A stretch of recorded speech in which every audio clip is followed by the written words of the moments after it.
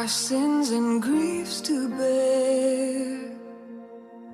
And what a privilege to carry.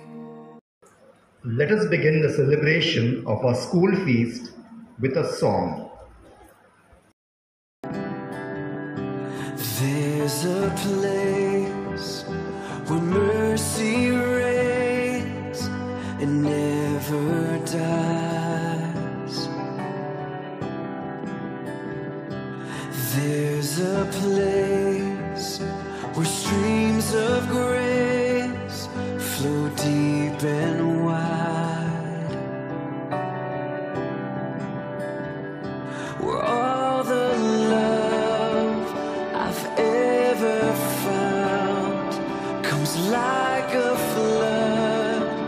Comes flowing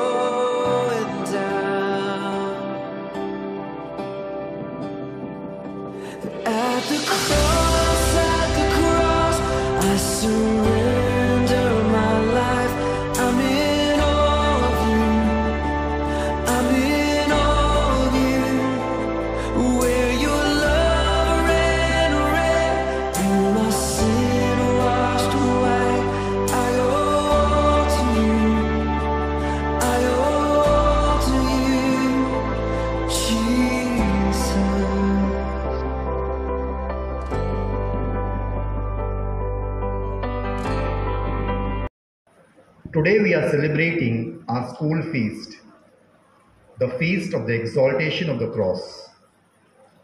Children, you and we all belong to the extended family of Sisters of the Cross. Therefore, it is the feast of everyone. It is a day of rejoicing. I now request Sister Lily to come and give an introduction, introductory speech on this great event and enlighten us on the importance of our school feast. Today is the celebration of the school feast, the feast of the exaltation of the cross.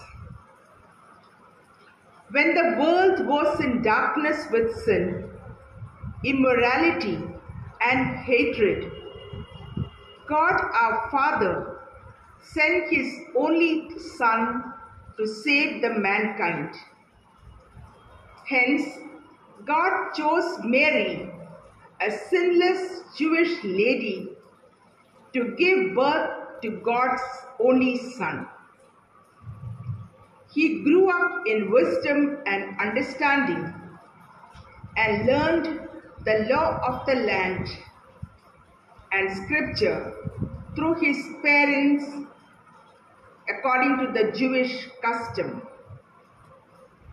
When he was of age, he began to question the teachers of that era, mainly Pharisees and scribes. This brought about disunity, and as a consequence, the Pharisees plotted against Jesus. Though Jesus knew all about it, he went about doing good, preaching, healing, and curing the people from all sorts of illnesses. He became very popular. So, according to the Jewish custom, he was sentenced to death, the worst death a criminal could be awarded was crucifixion. That is why we honor and venerate the cross of Jesus because he died on the cross and he was risen on the third day. Keeping this in mind, this little history, let us revere and honor the cross of Jesus who died for the entire humanity. I now request Sister Lily and entire staff members to offer flowers and venerate the cross of Jesus.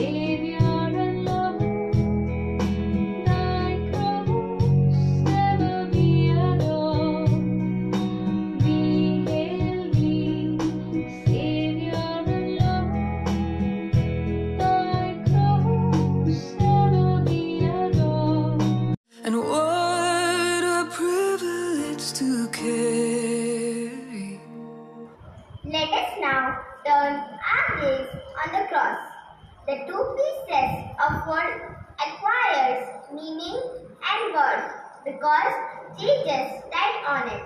The cross is no more a shame. It is a sign of victory. The sight of the cross makes Satan flee. The cross brings healing to the sick, strength to the weak, and salvation to all. In the cross is salvation. In the cross is life. In the cross is protection against our enemies. In the cross is infusion of heavenly sweetness. In the cross is strength of mind. In the cross is joy of spirit. In the cross is excellence of virtue. In the cross is perfection of holiness. We pray you, crucified Lord, for the children and young people, that they may be protected from becoming victims of peer pressure and the modern evil of media mania, drinks, drugs, and smoking. May they use their youthful energies to build themselves and for peace. We make this prayer in your mighty name. Amen. Our sins and griefs to bear. Today, we have with us our three sisters who have embraced the cross of Jesus. We are unfortunate that all the sisters are not able to be with us. We have in Jesus all our sins and griefs. Dear Sister Lily, you are compassionate, empathetic, and very caring. Compassion is the wish to see others free from suffering. Sister, you are really very compassionate towards everyone. You are always ready to help those who are in need. Empathy means to understand and share the feeling of another. Dear sister, you are having this most beautiful virtue to understand the feeling of others, not only the in teachers and students, but also in all the parents, all whom you meet daily. This is really being empathetic. griefs to bear. And what a privilege to care. Hard work is the only key to achieve everything. It teaches us discipline, dedication, and determination. Dear Sister Fiona, you are very hardworking and you always do your office work very diligently. This virtue makes you very confident and a capable person in your mission. Devotion. True devotion means becoming the hand of the divine. Whatever comes your way, you will know how to transform it into something beautiful. Sister Fiona, you are fully devoted to your work and to your religious life. You know how to handle every situation in a more beautiful way. What a friend we have in Jesus. All our sins. Today we are glad to have you with us, Sister Maggie. Sister, you are simple, approachable, and affectionate. We have met you occasionally and understood how approachable you are. These qualities in you make you devoted follower of Jesus. Your life is an example for all of us. It invites us to imitate your simplicity of life approachability and affectionate nature and dust become a part of Holy Cross family.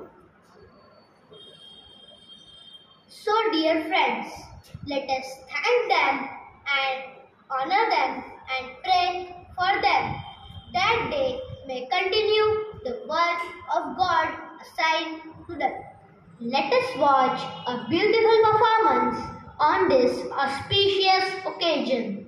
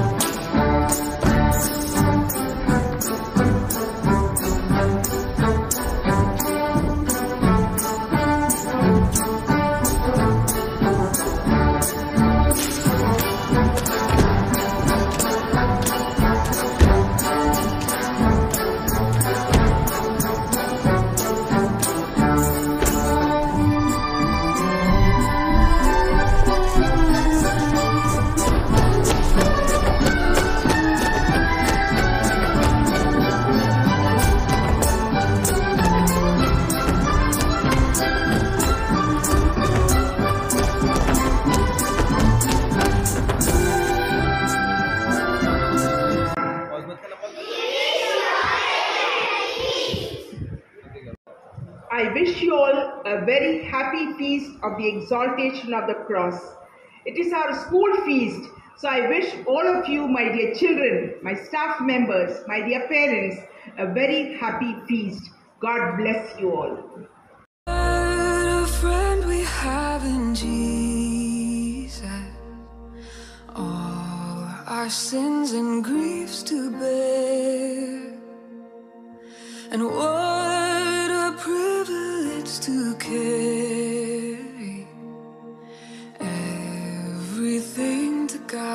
in.